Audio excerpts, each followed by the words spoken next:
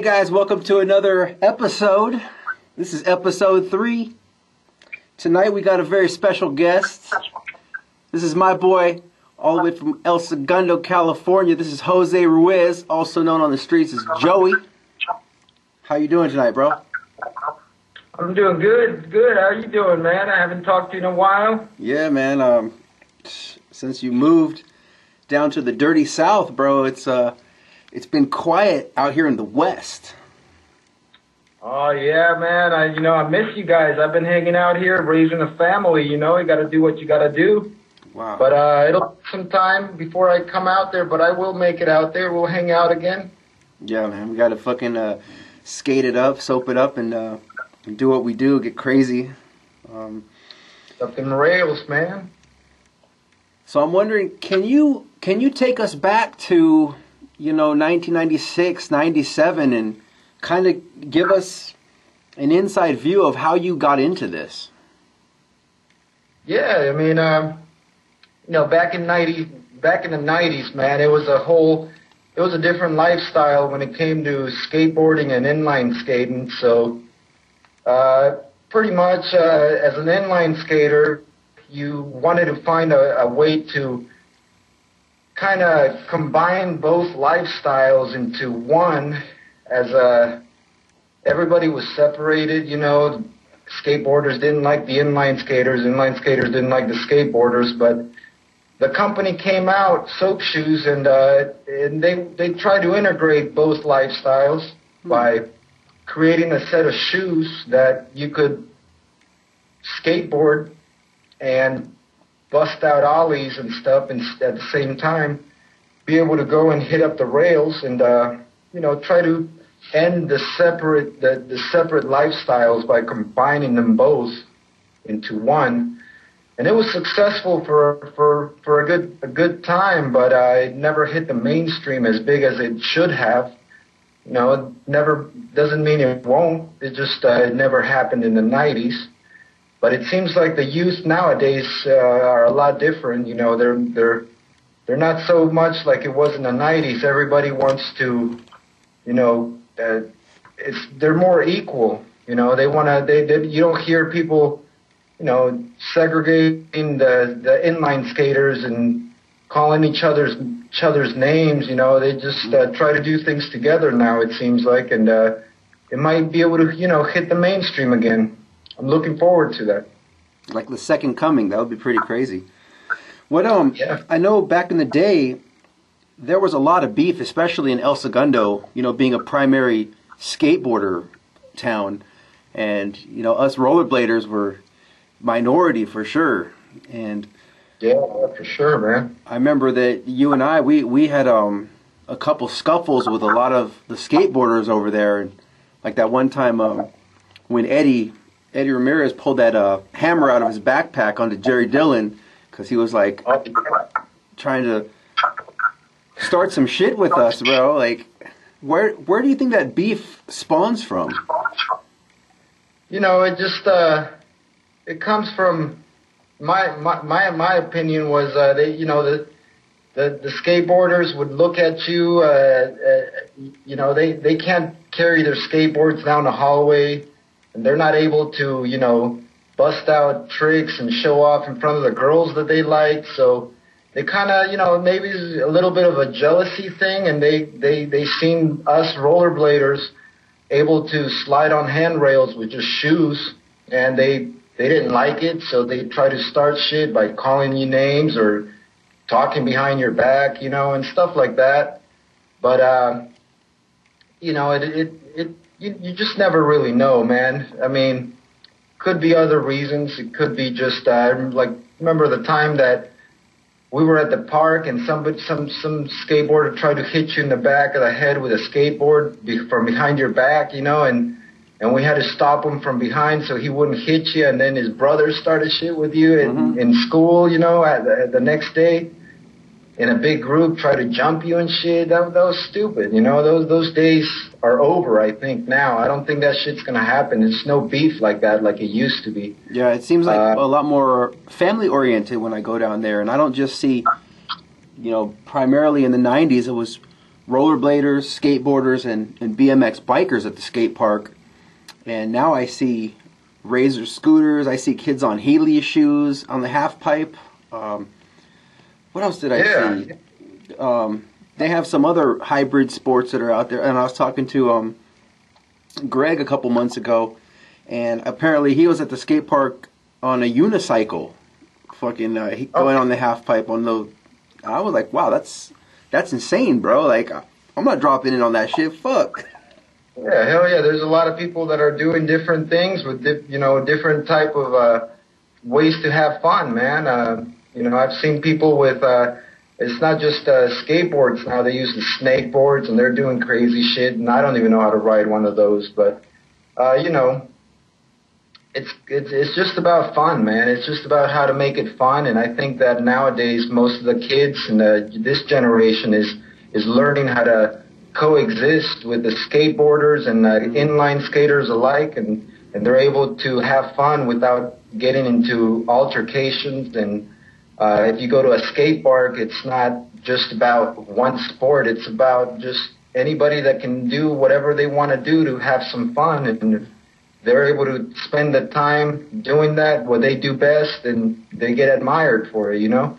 I feel Uh, that for So sure. I, I think I think there's a lot of good things to look up to in the near future with the soap shoes, and uh, I'm looking forward to it, man. I always felt back in the day like, you know, the original designers, it was supposed to be for everyone in the skating community, rollerbladers and skateboarders alike, because, you know, you can you can soap and practice royales and unities, but you can also, you know, pretend you're doing 50-50 grinds like you have a skateboard. You just don't have it with you, and um, it seemed like it took on t- for some skateboarders, and others completely hated the sport, and they were just like, no, that's soap shoes that's for for fucking fruit booters and uh they wouldn't even touch it. It was that shit kind of tripped me out. And then some other skateboarders were like oh i'm down with this bro. Like now i don't have to drag my board around. I can still grind but uh i don't have to fucking be carrying my board everywhere i go and shit. Exactly, man. It's it's it, it, it changed uh, the it changed the the outlook in this in the skateboarding alone because uh, now you can you know wear your shoes and there's shoes that that are perfectly fine for skateboarders, but you can get off your your board and you can do something that's uh, a little more entertaining when when you don't you can't carry your board around. You know, you can't you don't have to stick. You know, you can you don't have to walk around the hallways in school with your board. You just walk around with your shoes and then bust out on the rail. Especially if you're doing tricks that you can normally do on inline skates. If if they're starting to design the soaps in a way that you can you can bust out the tricks that you normally would only be able to do on inline skates, like the royales and the you know topside alleys, uh, acids, uh, mm-hmm. and all kinds of different stuff. You know that you can do that you could only do on skates, and you, now you can do it on soap shoes. You know, the sky's the limit, man. It's going to change the way that people look at it, at, at soap shoes in, as a whole. And, uh, you know, I think that it'll be a lot of fun. That's pretty badass, man. I remember back in the day we used to, um, you know, when we have um, Mr. Crystal's class, and we'd be, um, you know, we'd ditch class to go smoke a cigarette, and then we'd just have our soaps on already, and we'd walk down into the quad and start busting on the corner rail and the gold rail. And um, it was a lot different once we started soaping because, you know, before we wanted to skate, we had to go to our locker, we had to take off our, you know, our shoes, our Jordans or whatever we're wearing, strap up, and then go skate, and then have to like come back and take our skates back off, and then uh, you know It put our shoes hassle. back on and go back to class. Yeah, it, it eliminated the hassle. Yeah, for sure, man. It it made it more fun too. You know, I mean, remember the you know we used to uh, we used to have to put on the skates every single morning. Uh, we we'd go out. We only had 30 minutes to practice, uh, and then you know we do it right before detention or whatever. We'd go to school early. I would find an excuse to you know go out and. uh you know, leave leave my house earlier than usual to go, go to school because I just wanted to practice. And we got together, we did some tricks, and you know, needless to say, inline skating is what opened up the sport for soap shoes because without inline skating, we would have soap shoes would never be around. And Right. and uh, it, it took a lot of talent before you you got a bunch of people together to get try on those shoes and start doing crazy stuff like you started doing. You know, you jumping on those long ass rails at the beach, man. That, nobody was doing that back then. And we knew some pretty good inline skaters, you know. So no, nobody was doing that stuff. Uh, in fact, you know, it's hard to even find people doing that stuff right now. But you Mhm. know, we're we we've already hit our prime in that type of stage, so it's not like we can go out and do stuff like that. It's now a new it's it's somebody else's turn, and it's the new generation that's going to take this sport to the new limit. I like that. I like that. And you know, yeah, yeah, man. People like uh, you know in Australia and stuff, they're they're they're they're all into it. They like it, and uh, you know. That state, that country might be the one that takes it to the next level, man, and uh, brings it back. You know, you never know. I feel that. Like, uh, I've been following uh, Greg Krellin for a while and watching him and all his crew from the Melbourne Soapers and they the videos that they're posting. Looks like it's it's interesting the time delay. You know, whereas uh, you know my kids live in England and over in England they still haven't even heard of soap shoes and here it is 16 17 years later and they're just now you know getting to Australia where it's not that they they weren't there before but there was no buzz you know like as if we didn't do some of the tours that should have been done over there but you know it seems like the word is spreading and um I think to, to quote Greg he, Greg he was saying uh it's not dead underground. We're still out here doing it. Like whether people, whether it's mainstream or not, he's like they're still in the streets, fucking hitting up rails, and it's, it's kind of impressive, man. Yeah, and if you think about it, I mean, back in the '90s, you know, you didn't have uh, the internet as as it wasn't as widespread as it is now. So if it's if if I must say anything, it's the perfect time to get into the sport, Hmm. and it is a sport because uh, it, it's not easy to do what soapers do, man. They they you can you can damage yourself pretty bad if you don't know what you're doing, but it takes guts and it takes overcoming a lot of fear to be able to bust out the tricks that nobody else wants to do. The moment, and, and I used to feel this way, the, before you jump on a handrail, you just got to overcome that fear, man. Mm. And uh, that's what we had to do, man. We had to do in the 90s. We, we did it, but we had a video camera to videotape our, our success, to videotape our experiences, but we didn't, never had an ability to share the videos widespread the way people do nowadays, and this generation does. And when when they overcome those fears, they'll be able to share it with the world Ooh. by uploading it on YouTube, which was never around when we were doing this stuff. hmm And it's got a lot of potential. So, uh, you know, this is the time to do it if you're going to do it. So, Australia, more power to you. You yeah. take it to a new level, man. Cheers. Um, those are powerful words. Can you go into that a little deeper when you're saying overcome your fear?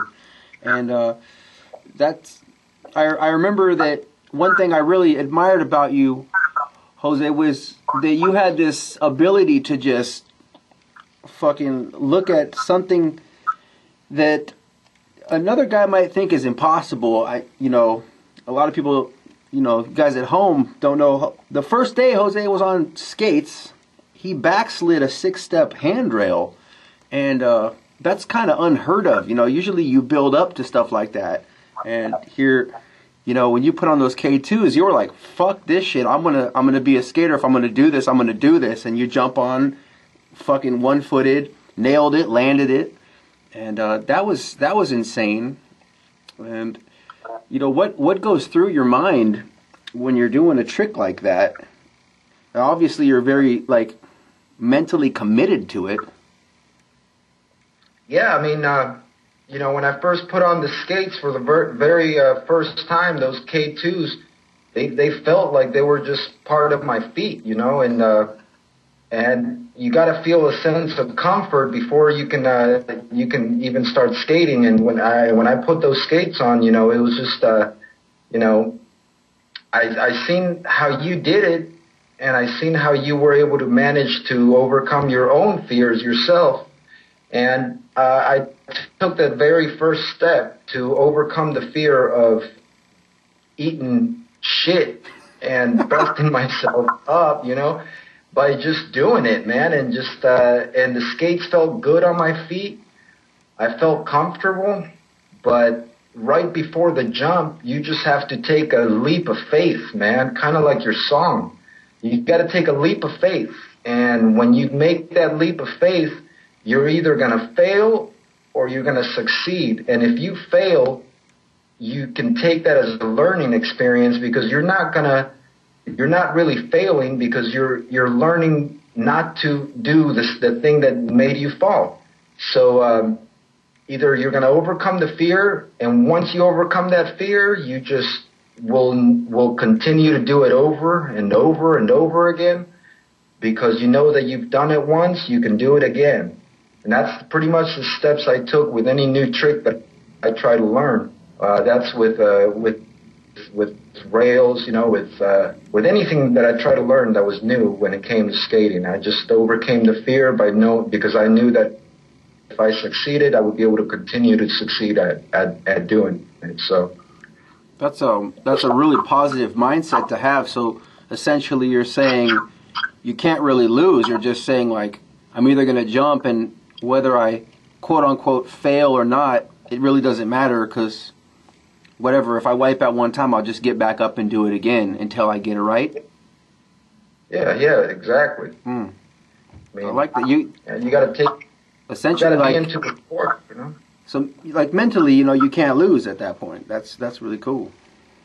Yeah, you you're gonna succeed at, at no no matter what, and uh, you know, you're plus you you.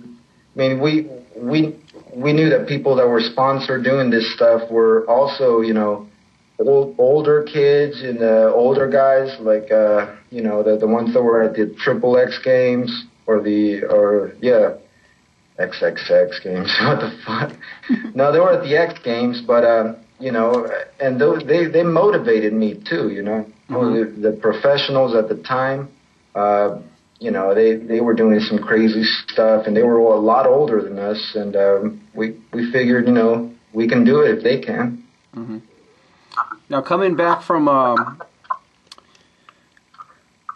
well, you've taken uh, personally.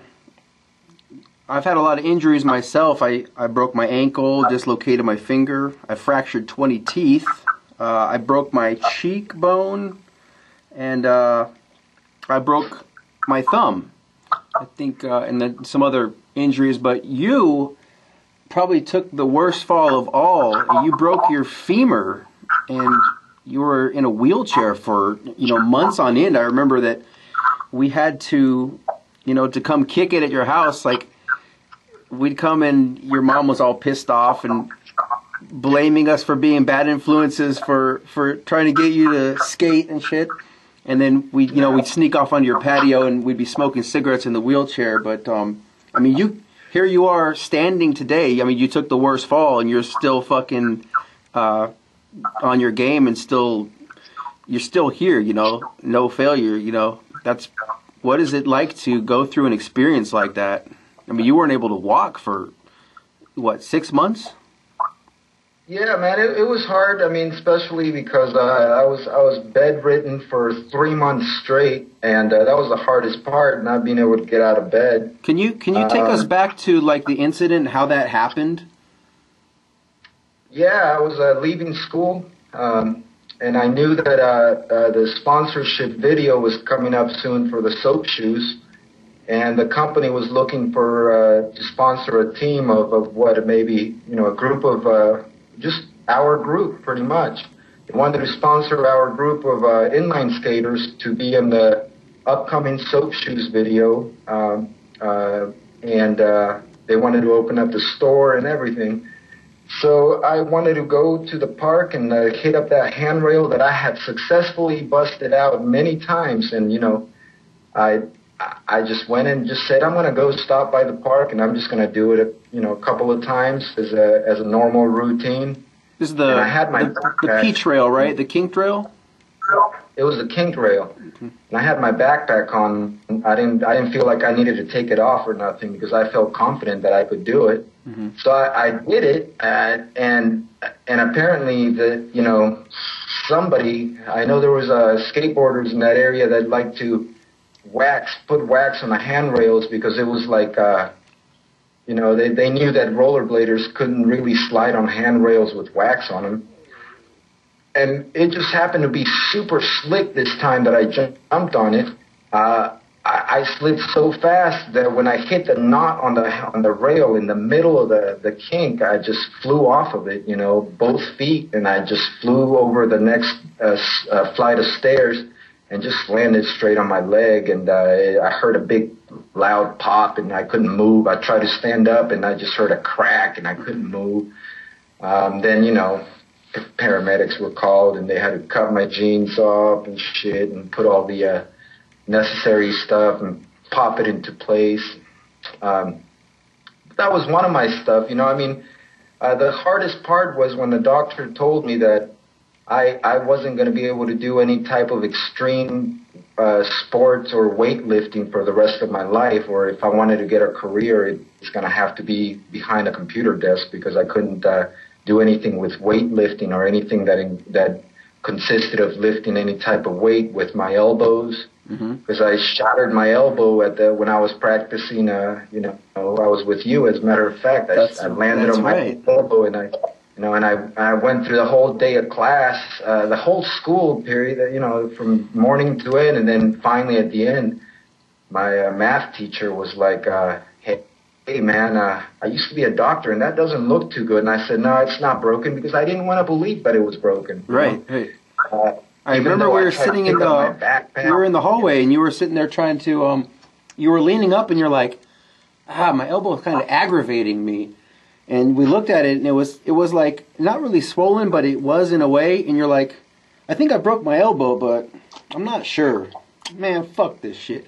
And you just kept going through class after class and you know, in my mind, I kind of knew it was it was some something was bad. You know, I knew it was broken because I tried to lift my backpack up, my backpack off the ground, and and it just like shattered more, and I heard it grind, and I was like, ah, and I I I made this loud sound, and everybody looked at me, and then I just decided to lift it up with my other hand, and then uh, at the end, my math teacher was she was, he was like. You know, I think uh, you need to go home. You broke it, man. That's not. You need to go to a doctor. And I said, I guess I, my mom picked me up at the end, and Mhm. you know, she came picked me up with a new car that she had just bought, and I was like, oh, my elbow feels better now because I seen a new car in the driveway. I was like, yeah, these, these are the things that make you happy when you're freaking young, dude.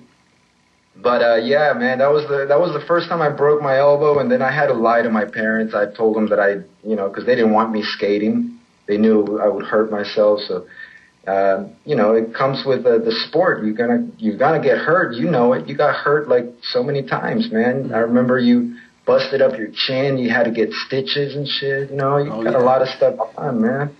And I, I bet you got scars. And I remember seeing that video they uploaded on the on on actual on the network where you busted your finger and busted and like it was bent all the way in a like a 90 degree angle. Remember that? right right So I mean, That it was, um, That was a week before uh, Sarah and I got married, and when they that one didn't break, it just dislocated, and they popped it back, but it never went back down to the size, and it was we thought it was a bad omen because it was a week Yeah. before the wedding, and we went to try the rings on that we had just bought, and the ring wouldn't fit over my finger, so we had to buy a, a whole new ring for me, like basically last minute.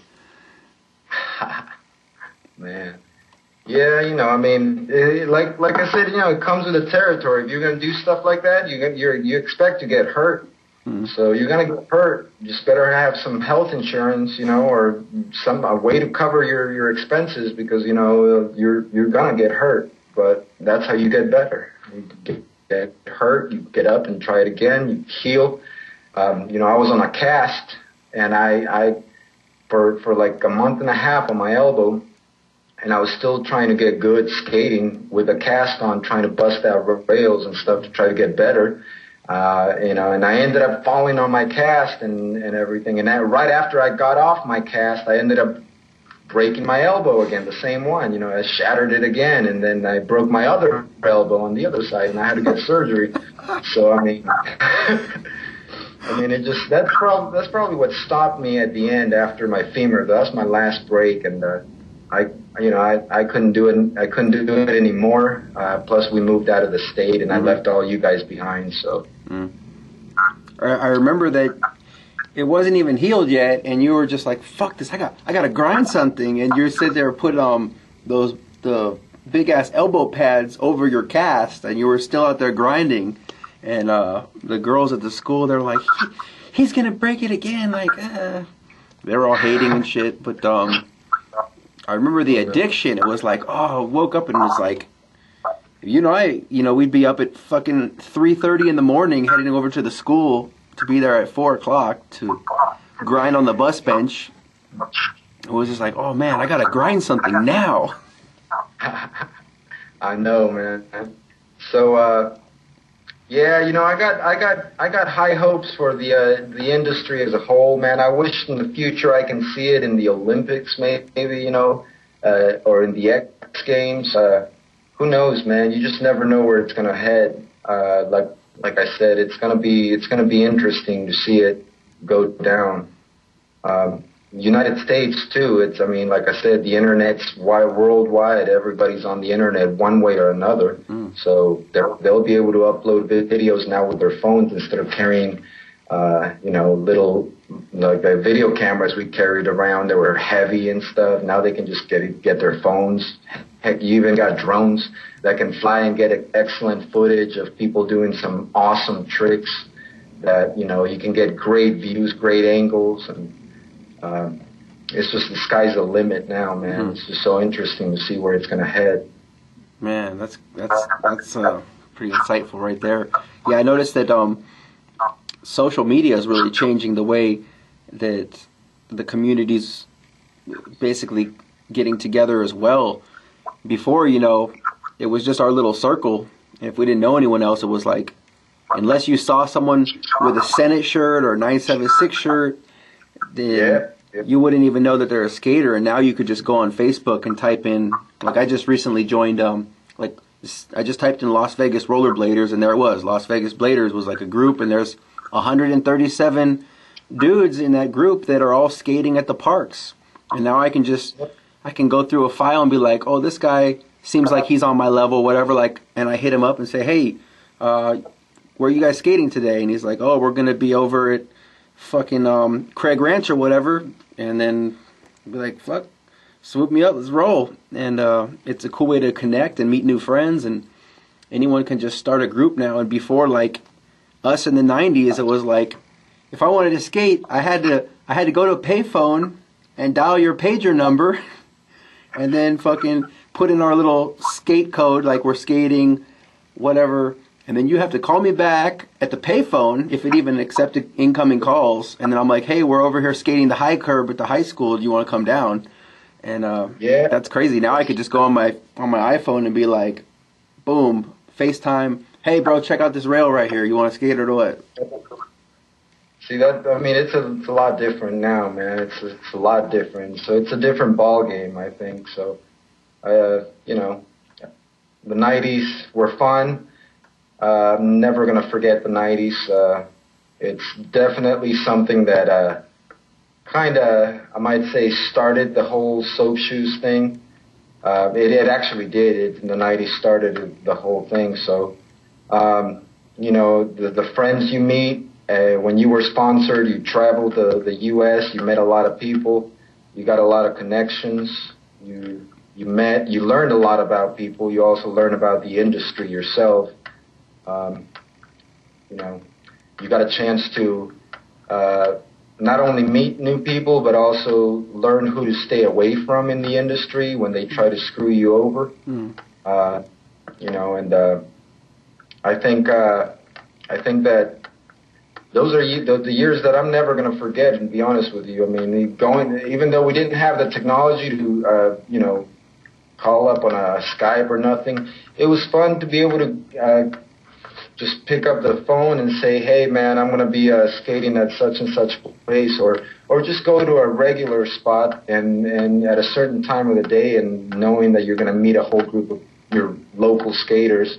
You know, we had a small little quit that we used to get together with and skate every single time. So that was fun. Um, not gonna forget those years, you know. Do you have like a specific favorite memory? Um, yeah, man. Uh, I, one of my favorite memories was uh, the Hacienda Hotel rail Mm. because it was just long. It was a long handrail. It had a it had 53 steps, and it was a straight shot. And uh, we were trying to make the perfect video to to bust out that that rail. Uh, And I remember, you know, we had uh, the camera rolling. Everybody had skates on, you know, and and I and you had to maneuver the camera at a at a lower angles to kind of get an upper view of the skater with the with the blade. So sometimes we had to roll really low to the ground, and and just handing our drinks off, passing it to the person with the camera right before you bust out the rail. Those you know making it fun like that. And then sliding down a long ass rail just made it super freaking tight. You know, it just made it look nice. And I just remember those type of moments that uh, made the uh, experience a lot more exciting and more interesting. At the end of the day, we go at your house and uh, or my house or or uh, Greg's house uh, or Craig Craig's house. Um, and we we you know look at the video footage and see what we've done and then you like getting into your editing mode and you start editing everything putting music into the videos you know that's the type of stuff that made everything interesting and made the sport more enjoyable so that's my favorite memories Cool, cool, cool. That's awesome stuff. Um, any advice for uh, anyone starting up today? Yeah, absolutely, man. Just uh, if you're gonna start the sport, whether it's inline skating or soaps, soap shoes, uh, just uh, go get you a pair of shoes. Don't let anybody think or or tell you that you can't accomplish what you want to accomplish. You want to be a professional soaper, then go out there and look and start small and finish big, man. Just uh, Mm. don't ever stay at one place always try new new things with your soaps, and uh, you'll you'll you'll reach new levels that you've never imagined. Uh, yeah, pretty much it, man. Start small and finish big. I like it, bro. Yeah, finish big. You will finish big as long as you start small. You you'll be able to finish big because you're never going to stop learning. Uh, you know, you just got to keep keep trying new things with your soaps. Fucking sick, man. All right, bro. We're running out of time here. Thank you for your time. If the guys at home want to give a hold, get a hold of you, what kind of comp- excuse me, what kind of uh, contact information could they use? Uh, you know, they can uh, they can hit me up on Facebook. Just look me up under uh, Joey Ruiz, R U I Z, and uh, you know, let me know if you're a, a, a or a, a inline skater fan, and uh, and you like doing the sport, and I'll add you right to my list, man. I I like having friends like that. Cool, cool. I don't give out my personal phone, but you know, not at this moment at least, but maybe another time. For sure. Start small, finish big. Ladies and gentlemen, Jose Ruiz. Nice, nice talking to you, man. It was a pleasure speaking to you again, Ryan J. J to the B. Talk to you later, brother. I'll, I'll definitely have to hit you up in Vegas, man. We're gonna get together and party out. We got to ride on the Mustang again and uh, drop top. And you got to come visit. You know, we'll go to Florida, go to L.A., take a drive to Las Vegas from L.A. That's always fun. I can't wait, bro. Uh, every time we go out there, we always, um, well, shit, you know, you know what happens. Yeah. We got to do something different. We got to go to Mexico or something, cross the border since we're down in LA anyways. We got to do something more interesting. I've never done that shit, Ooh, okay. you know. Or hey, got to go to Colorado. Oh, oh, yeah, yeah, yeah. Okay. some of that, some of that. Uh, what did you call it? Lachuga. Some of the lachuga. Uh, some of that lechuga, man. Some of that hippie lettuce. Is that how, how you know? That's what they say over there. It's the new Amsterdam. So hey, if it's legal, might as well enjoy it, man. Mm. I see the new tattoo you got over there, man, on that hand. is pretty pretty crisp. Oh, it's a it's a it's a maple leaf. I'm a I'm a Justin Bieber fan. that's right. That's, That's right. what that's what I tell him at my you know at my if I'm at work. Keep it on the DL. He's like, oh, Oh. Cool. All right, player. Peace.